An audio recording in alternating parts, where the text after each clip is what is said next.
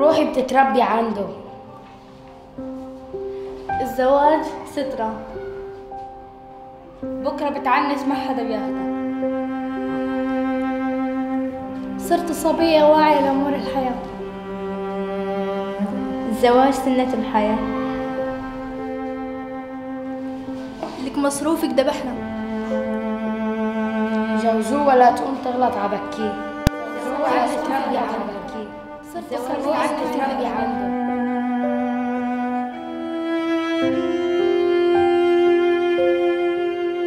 من 16 سنة.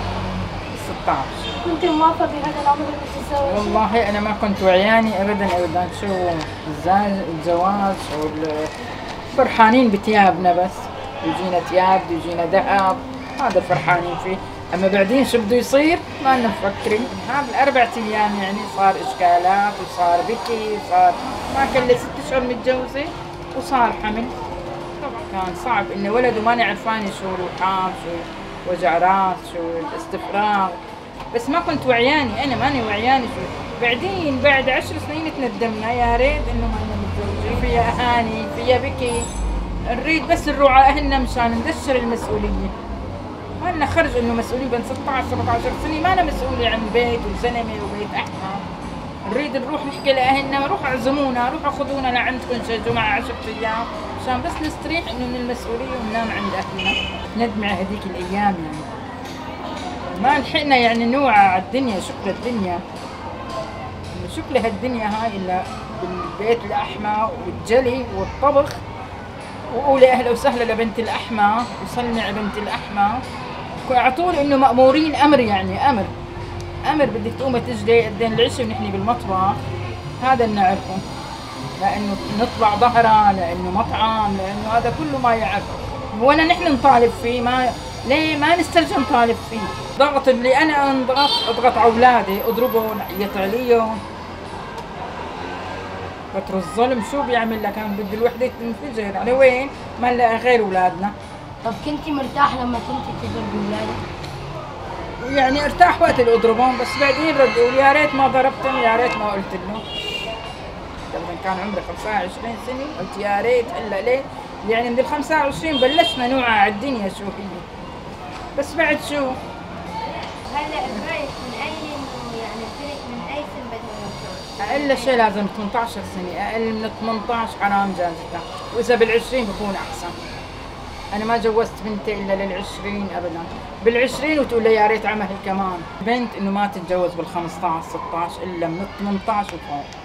تكون وعيت أكثر كبير ولسه بيكون إذا تعلمت بكون سلاح بايدها تتعلم وتتوظف بعدين تفكر بالجازة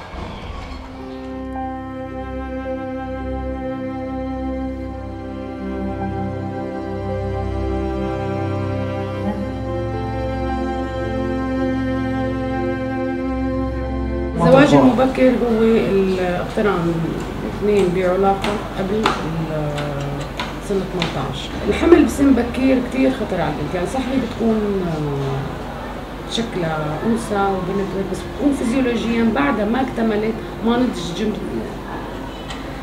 جسمها بشكل إنه يتحمل حمل. المشاكل اللي بتصير عن الزواج المبكر ممكن تكون أثناء الحمل وممكن بعد. أثناء الحمل ممكن يصير بالحمل بسن مبكرة بنجم عنه ممكن يصير ولادة مبكرة. ممكن يصير عن عنده تشوهات بشكل أكبر. ممكن البيبي يعني يصير عنده تشوهات. الأسقاط بيزيد عندها التشوهات الولاديه بتزيد عندها وقت بصير الحمل بشكل مبكر. ارتفاع التوتر الحملي اللي هو نحن بنسميه الإرجاج الحملي أو التسمم الحملي. هذا موضوع يعني متفق عليه وفي دراسات حواليه ومثبت إنه نسبة التسمم الحملي عند هي الفئة أكثر من غيرها، التسمم الحملي هو عبارة عن ارتفاع الضغط عند المرأة بسبب الحمل، وقت اللي بيرتفع الضغط كثير عند المرأة الحامل آه طبعا آه، إذا بدنا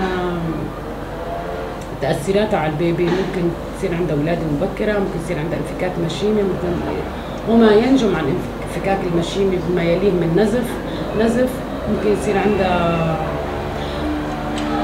نزف داخل الدماغ ممكن يصير عندها نزف داخل البطن الكبد. في مشاكل تانية نسائية ممكن تصير. ال- ال- الزواج المبكر بنلاقي عنده نسبة أكبر بسرطان عنق الرحم مثلا. بنلاقي عنده نسبة أكبر ب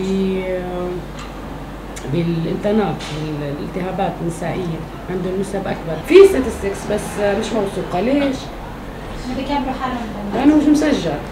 كله بتجوز عند الشيوخ أغلبهم. فيني أعطيكي أرقام عن المراجعين اللي عنا لأنه نحن عنا أرقام عرفتي؟ بس مش كل المتزوجين بيراجعونا.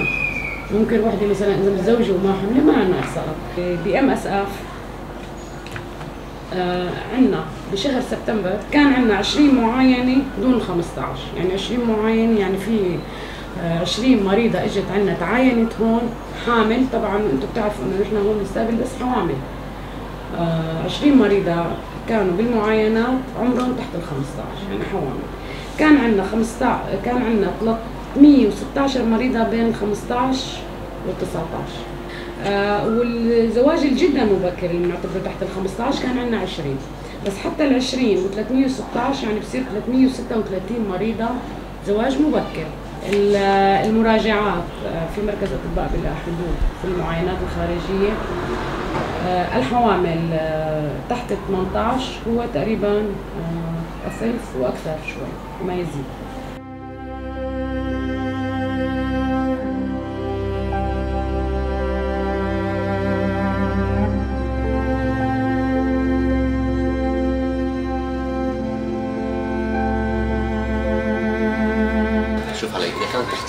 12 سنه بالنسبة للصبي أنا بعتقد يعني مش بهالمرحله يعني الوعي الكافي الفتاة لحتى تقرر مصيرها عرفت كيف؟ يعني أنا باعتقادي إني أنا ضده كانت تحت 18 سنة. هلا الزواج المبكر إذا البنت بين عليها إنه إنه بتحب إنه تتجوز بكير وكان في عريس مناسب مش ضد مع إنه تتجوز. يعني طبعا لا أنا مش مع الزواج المبكر. أقول لك ليه؟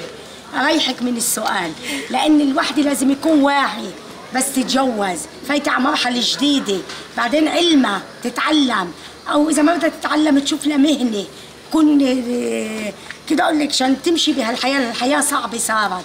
عرفتي؟ مثلا البنت 16 سنة هلا بتتجوز 15 سنة بتبكي على مصروفها. يعني من عمرك بتتجوز شو البيت اللي بدها تفتحه؟ شو اللي بدها مسؤولية اللي بدها تقوم فيها؟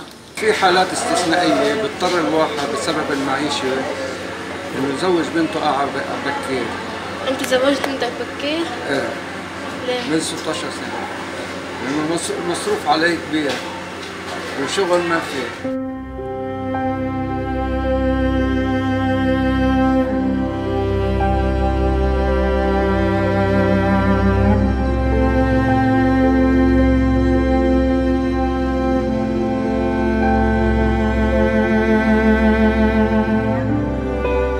الزواج المبكر له تأثير سلبي على الحياة النفسية والاجتماعية لليافع أو اليافعة آه، أكيد الضغوطات اللي رح يكون يتعرض لها الشخص اللي عم يتزوج وبعده تحت السن القانوني للزواج حيكون بمسؤوليات كتير كبيرة.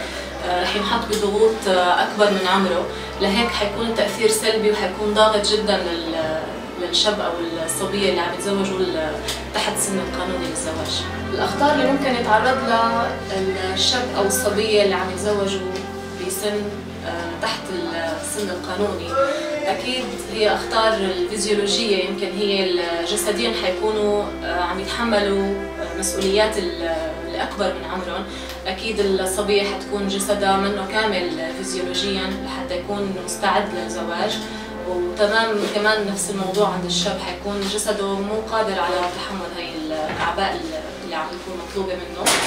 آه، الأخطار اللي ممكن تكون إنه الصبية والشاب ما عم بيكملوا تعليم هون من بعدها حيكون في مشاكل آه، فيما بعد آه، قلة المردود المادي لبعدين لأنه لسه ما كملوا تعليمهم ما قدروا يصلوا لشهادات عالية كرمال يحصلوا على وظائف أفضل حيكونوا بوضع يعني آه، بيتعرضوا لأخطار متعددة. أكيد في أسباب كبيرة وكثيرة لحتى آه، تدفع الأهل لقبول بالزواج المبكر آه، منها الضغوط العائلية ممكن تكون ضغوط مادية. آه، تدفع ليكون في زواج مبكر لحتى يخففوا الأهل قد ما فيهم مصروف وتكاليف بالحياة اليومية. كمان التقاليد القديمة أحيانا كثير بتضغطنا بتخلينا نحن نرضخ لهي التقاليد. فالأسباب كثيرة منها مادية ومنها عادات وتقاليد آه، ومنها أحيانا مثل ما شفنا بالنزوح ال- النزوح السوري كان في حاجة كثير كبيرة لتخفيف الضغوط والأعباء اللي كانت عم يتعرضوا لها النازحين السوريين. فكانت من أحد أسباب الزواج. أكيد ما حتكون عائلة نموذجية طبعا خاصة بعد ما الأب والأم اللي متزوجين بكير فقدوا أهم حقوقهم اللي هي حق التعليم. آه، فحيكون أبدا كمان حيكون منعكس هذا الشيء على عائلتهم على الأطفال. رح يكون كمان ينقصهم حق التعليم. يمكن ينقصهم كثير أشياء من آه، من الأساليب الاجتماعية والتربية ال- اللاعنفيه والتربية الحديثة آه، أثناء تربيتهم وتنشئتهم لاطفالهم